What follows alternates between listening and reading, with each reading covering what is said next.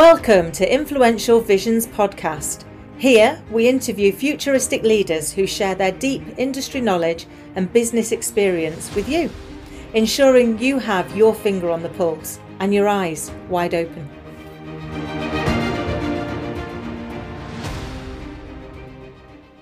Hi, I'm Kim Adele, and I'm joined by Nat Schooler, who's my co host on the exciting new podcast series, Mastering Imposter Syndrome. Hi, Nat.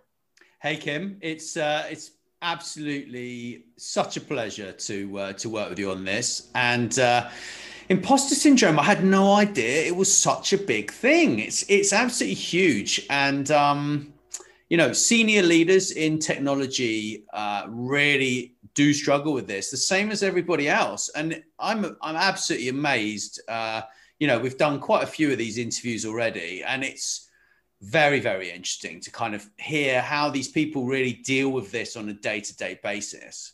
Oh, no, absolutely. I mean, imposter syndrome, they say, will impact up to 70% of us at some point in our lives. And often when we're the one feeling that imposter, we think we're on our own. We think we're the only person that has that funny little voice telling us that we're not enough or that we can't do something. And yet, as this series will show, even some of the most influential leaders around the world and, and within technology we all face that fear at some point. We all face that little voice that's telling us that we can't do that, whether it's in um, in meetings, whether it's finding our voice, whether it's putting ourselves forward to do something that we really want to do, but we're just not sure we're ready. And the series has already been so insightful in people sharing how one they felt that, and two how they've overcome it. So I'm excited to see how this series is going to help other people when they're facing their imposter to actually master it and go and live the life they want to. Yeah very much so. And i mean i think you know from from i mean I, I knew nothing about this but i've kind of been studying self-development for sort of about 10 years maybe 12 years on a on a kind of you know more intimate level right? Um and it's it's actually quite amazing like when you when you speak to different people and how they actually deal with this is is different for each individual right? Like i mean i know i know some people like they they have their morning routine and they get up and they have a cold shower or they they they drink their coffee and have an orange juice then they have a cold shower and they exercise and uh, but like dealing with imposter syndrome is very much like that. Like everyone has a different kind of angle to it. And I've just found it very interesting, you know, especially especially like talking talking with uh, talking with Jayne Archbold, uh, CEO. Uh, that's been very interesting, and how she sort of, you know, really dislikes kind of face to face networking events, and and how she feels vulnerable there, and you know, and I just found that interview quite interesting. I mean, they've all been very interesting, and uh, you know, in particular, I like the way that the leaders that we've spoken to are just like, well, look, it's you just got to get on with it. You you can't just wallow in in in this kind of um, space of like it, it's almost like you feel sorry for yourself. Like you you can't wallow in it, right? Because the more you wallow in that, oh look at me, you know, and and complain almost to yourself.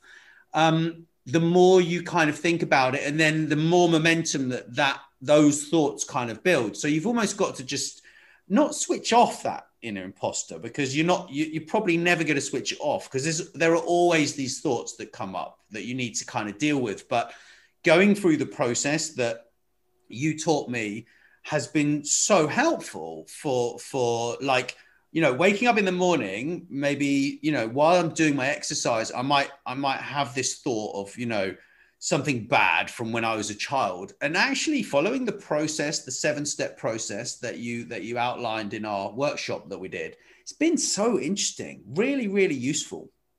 Yeah, no, and you're right. I think you know it is different for everybody. Um, you know, the, the questions that we ask and how we're going to to overcome it is very different, but the steps can be the same.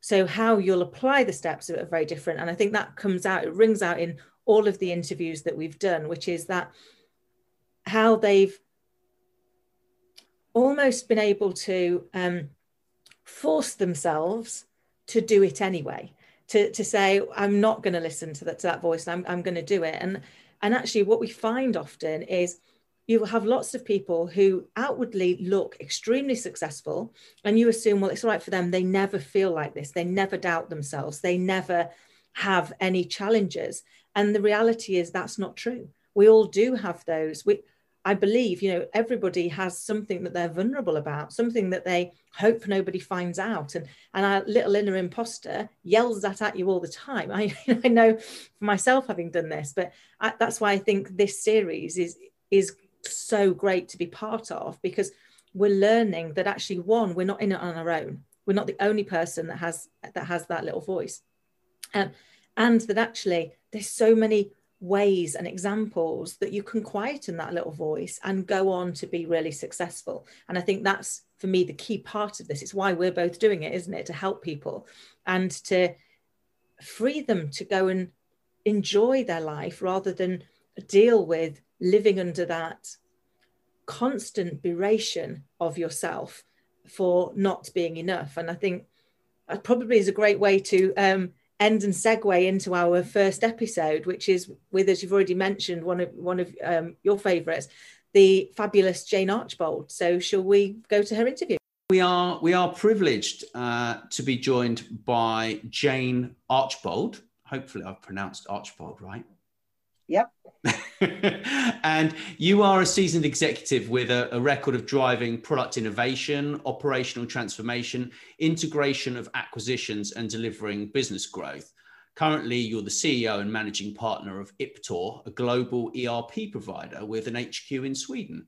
So, uh, yeah, and you were formerly uh, at, at Sage for 18 years, latest position CEO Europe mid market and uh, you're also a non-executive director and investor in Notify Technologies and Sabre, which are two UK startups. And you are passionate about people and making a difference, which is which is great. So, thank you, Jayne, for uh, for joining us. I'm quite excited about this whole series, actually, and yeah, it's uh, we learn so much from talking about this important topic.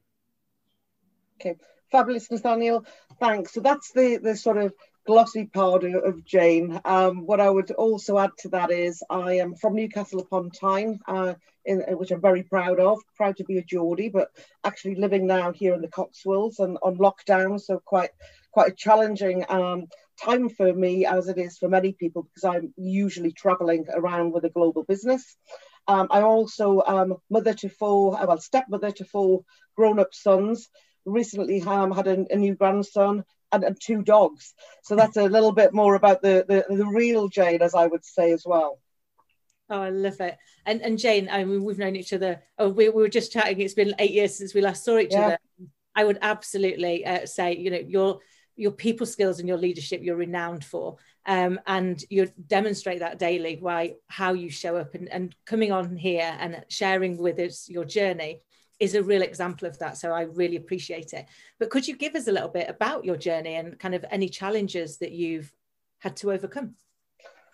Yeah, and I'll, I'll take us back. Um, so back when I was in a sort of probably my late 20s, uh, I joined Sage and I was sort of headhunted at the time. I was working in a, a different sector uh, Sage were going through a huge amount of growth, um, and I had this exciting opportunity to join. And I was pretty apprehensive. I, you know, it was local, so I you know, drive to work. Uh, could, you knew quite a few people there, but my boss at the time actually was quite intimidating.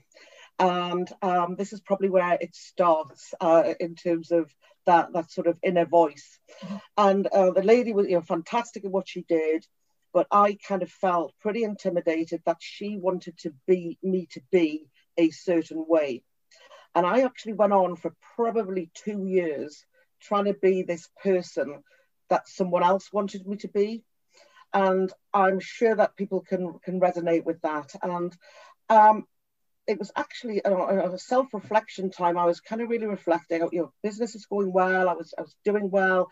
You know, managing teams of people. Business was going through growth, but I just wasn't really happy, and I didn't feel that for me, I was making a, a bigger difference, and I wasn't really realizing my potential as much. And when I thought about that, and I, I, I thought I'm just not happy. And why wasn't I happy? And it was because I wasn't being myself and I call this the sort of Jayne Epiphany moment. I remember lying in the dark, listening to some music on the floor in my lounge, just reflecting on all of this. And I thought, you just need to be yourself. And actually, if being me isn't good enough, then that's actually okay.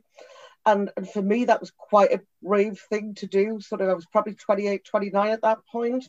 And, and actually, from that moment on, I would say that's probably been the turning point in my life, both professionally and and at home as well. So the, the authenticity and actually it's okay to be you probably is, is was my starting point. Oh, I love that. And that's so resonates. I, I remember also spending many years trying to be the version that people wanted you to be and looking around at all these amazing corporate people and going, oh my God, I don't fit in. yep. yep. Don't fit. And then you and then you start to try and be something you're not, don't you? Yeah. And, and linked to that, you know, I then was working in this environment and thought, okay, I'm, I'm now okay. It's all right to be just Jayne. And then having to go to networking events and this even today is i get that feeling in my stomach where i think oh my god i hate this. So walking into a room usually in an evening um, mostly men who i've never ever met before and having to walk in and be expected to network. One of my just I hate it. Uh, even now, I absolutely hate it. But back then, I used to get myself into such a state, and is usually would be involved in London. So I'd be on the train going from Newcastle to London, getting myself into such a frenzy about it. Uh, and I did that for years. And my coping mechanism at the time was to think, okay, let me just think of three interesting things to talk about, and I'll go in and I'll be okay. And then as soon as I walked in the door and saw this sea of men and thought, oh my God, I don't want to be here. And what time is it so I can get out? Um, so my key thing there is, I, I, you know, that, that's never gone away. It's still here now. And, you know, I've been around the block a few times, you know, at my age now and running different businesses. Gets it's back to being myself and just thinking, you know, this is okay. But then thinking, what am I going to, instead of what am I going to get out of this networking session? What can I give to the session? Um, and thinking about that in a very different way. Um, and also just having a few little, if, you, if this goes silent, what are the topical things that I'm going to talk about? So I always have a few latest news things that I might be interested in in my back pocket. But even back to that point, my first networking, I used to be terrified.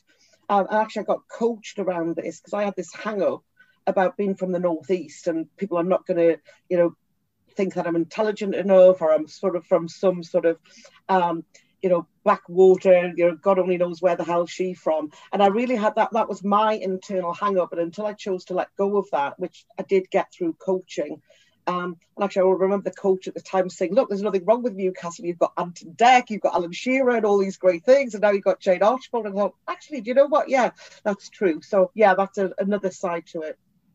Very interesting. Very interesting. So, when when do you feel most vulnerable, Jayne? I feel most vulnerable when I'm walking into a meeting where, and it's my perception that I'm with highly intelligent people, usually on more of a sort of mathematical or scientific side, which in the technology sector, there's a lot of those people. Um, so my background is not product. So I am a commercial business person deliver through other people. I do not code. I don't know the latest things around technology. I know enough to run a business.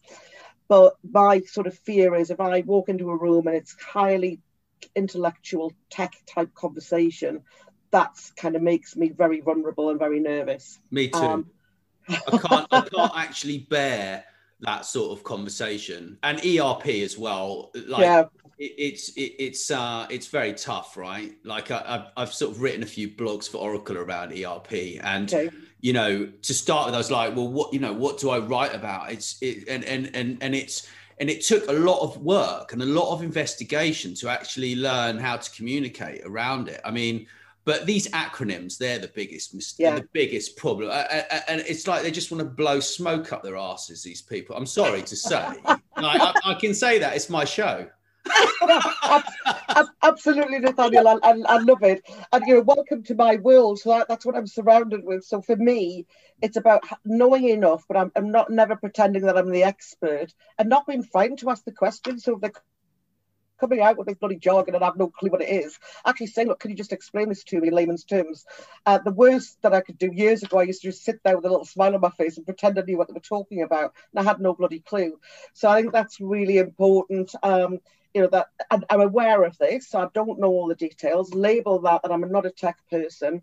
Uh, I'll give what my contribution is and then ask questions if I'm not sure. But yeah, it's not the most exciting. If I was you, I'd rather be writing about, you know, the planet or even shoes and handbags or holidays or something wishful rather than ERP. But hey, it no, adds I, benefit to people's businesses. But I, I wrote about the Medici uh, family.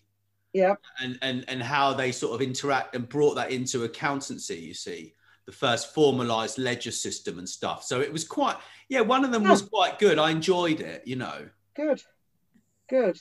Well, I like to think with ERP, we make a difference. I don't just think about this as pure tech. So I was explaining um, to someone the other day, you know, what do you, Jayne, what do you really do? And it was actually it was one of uh, my friend's children. So I tried to explain. I mean, how do you explain to a seven-year-old child that you run a business that's ERP? So what I what I did was explaining that actually what my business does is is actually help people. And how do we help people? So our ERP is actually really there around businesses who are heavily distribution centric. So and we're focusing on the pharma space right now. So to be able to get a drug, so somebody you know calls a hospital, they need a drug and it's not available. They need it to get from one state in the US to the other our software enables that to happen and be there within you know seven hours and it can be tracked and traced all the way through. That's what i like to think that i do in simple terms. That's nice. how i explain it to a child. There you go. That must have been quite exciting for that oh. i would be excited. The concept of that is is exciting yeah. right? So when it comes to like your imposter syndrome yeah how do you how do you manage it? Like when you when you go through these voices in your not voices but the inner voice right in your head that's saying oh i shouldn't be here like i'm not amazing enough and like that kind of thing like what what do you do to manage that? Okay. The first thing is i is, is being mindful of when that situation is going to happen. So usually you're aware that you're going to go into a meeting, or for me, it's one of those networking sessions, and it's about preparation. So I know I don't like it. I'm never, eh, eh, well, maybe limiting belief, but I know I'm not going to like it. So I have to then firstly prepare. So it's about understanding, you know, what's the worst that could happen, and let me prepare for the best outcome. And the best outcome for me, so I'm looking at going to a networking event. I'm thinking I've got to spend an hour of my life under, you know, talking to some people.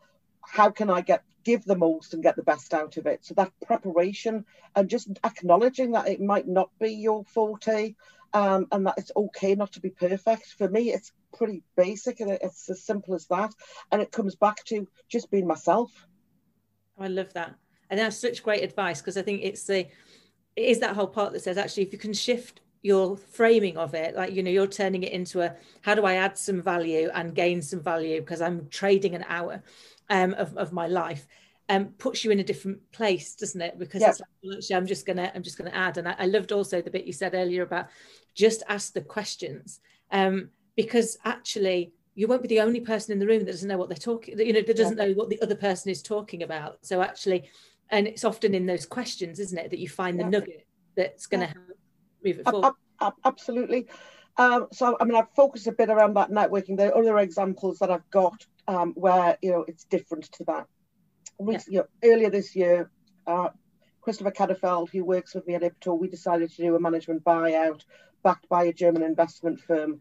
Before getting into that, you know, we met a series of investors and you're putting yourself on this beauty parade. And again, to get through that, it was all about okay, let's be authentic, let's be very open, honest, transparent about you know what we're, we're looking to achieve here. That then puts me in a, a comfort zone of course, within that, you get what I call the hairdryer effect of just questioning on every damn thing. And some of that, you know, I don't know about, but rather than get myself into this, oh, this is going to be awful, just expect that you can't control what you don't know and you don't know all the questions that are going to get asked in that situation. So it's taking the ones that you can and then being totally honest about if you don't know the answer, actually just say the worst and this is a tip for people out there listening to this, the worst that you can do is try and bullshit your way out of it. So had I done that, and this has happened before, where people are trying to sell a business or get investment, you bullshit, you will get found out. Um, and, and that's true in any situation in life. So my my advice to myself is just be very open, be, be very honest, give as much as you can to the best of your ability. And you know what? Don't worry about the rest of it That is such amazing advice. I think I think often we we panic, don't we, that if we don't have the answer, that people are going to think that we're not very clever.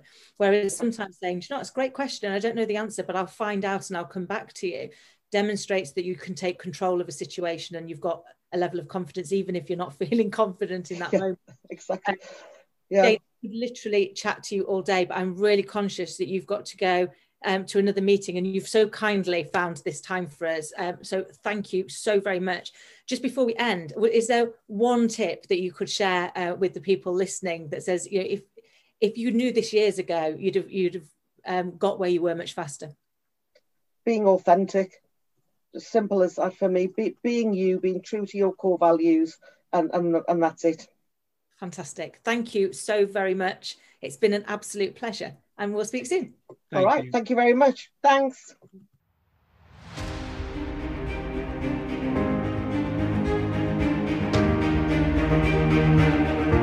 Thanks so much for supporting our show. Please do share this episode with your friends and business associates and click the link below to subscribe to the podcast.